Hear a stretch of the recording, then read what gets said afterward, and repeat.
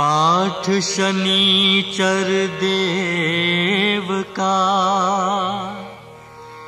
किन्हो विमल तयार।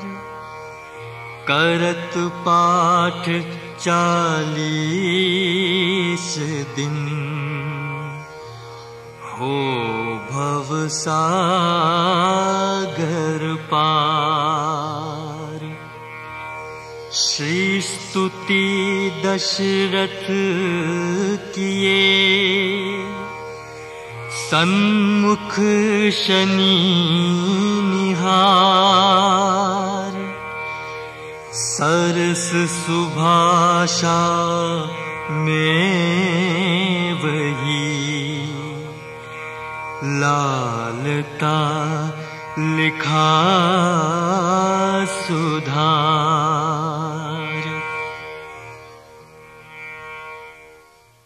अस्य श्रीशनैश्चरस्तोत्रमन्त्रस्य दशरथ ऋषिः शनैश्चरो देवता त्रिष्टुप्छन्दः शनिश्चरप्रीत्यर्थे जपे विनियोगः।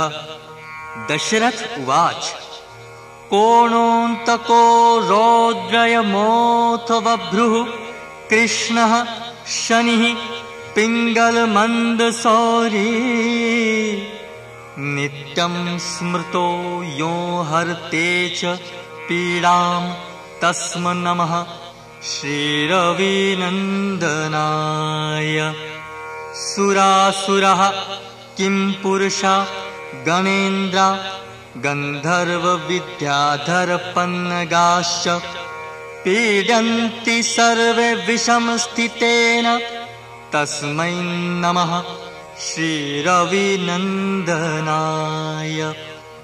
नरा नरेन्द्रः पशवो मृगेन्द्र वनाश्च ये कीटपतङ्गभृङ्गा।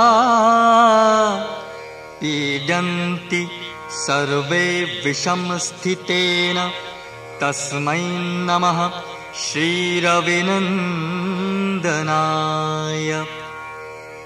देशाश्च दुर्गाणि वनानि यत्र सेनानि वेशापुरपत्तनानि पीडन्ति सर्वे विषमस्थितेन तस्मै नमः श्रीरविनन्दनाय।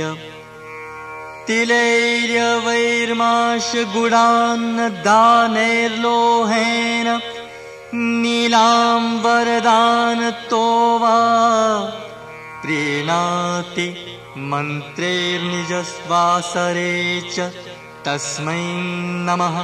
श्रीरविनन्दनाय प्रयागकूले यमुनातटे च सरस्वती पुण्यजले गुहायाम्। यो योगिनां ध्यानगतोऽपि सूक्ष्मस्तस्मै नमः। श्रीरविनन्दनाय। अन्यप्रदेशात् स्वगृहम् प्रविष्टस्वदीयवारे स नरः। सुखी स्यात् ग्रहाद्नो यो न पुनः प्रयाति तस्मै नमः श्रीरविनन्दनाय। सृष्टा स्वयं भूर्भुवन्त्रयस्य त्राता हरिः संहर्ते पिनाकि एकस्त्रिधा ऋग्ययुजुः साममूर्तिस्तस्मै नमः। श्रीरविनन्दनाय। शन्यष्टकं यः पठति प्रभाते नित्यं सुपुत्रैः पशुबान्धवैश्च पठेश्च सौख्यं भुवि भोगयुक्तं प्राप्नोति निर्वाणपदं परं सः कोणस्थः पिङ्गलो बभ्रुः कृष्णो रौद्रोऽन्तको यमा सौरिः शनैश्चरो मन्दः पिप्पलादेन संस्तुतः एतानि दशनामानि प्रातरुत्थाय यः पठेत् शनैश्चरकृता पीडान् कदाश्चित् विश्यति इति श्रीदशरथप्रोक्तम् श्रीशनेश्चरस्तोत्रम् सम्पूर्णम्